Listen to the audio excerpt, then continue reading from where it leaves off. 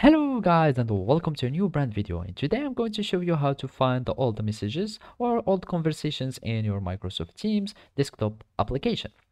So the first thing that I want you to do now is to open your uh, Microsoft Teams uh, application or desktop client and then you need just to follow these simple steps. So basically the first thing that we will need to do is to go to the chat uh, menu or the chat page. So here if I click on chat you will find uh, here your recent conversation so of course if uh, you have uh, you haven't been used uh, Microsoft Teams for a while or for a long time, you may not have like this recent conversation. And basically, to find your old uh, conversation, all you need to do is to search for the contact.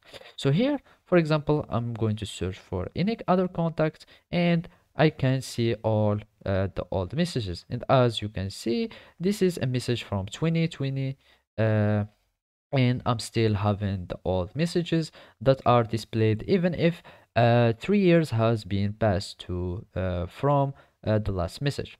So basically you can just search for other uh, old conversation that you have had and search for uh, the messages and you will find the whole uh, conversation and this is also another uh, all the message from uh, 2020 and even if they are still old they will still saved in Microsoft Teams so basically this is how you can find your old conversation in Microsoft Teams. Thank you for watching and see you next time.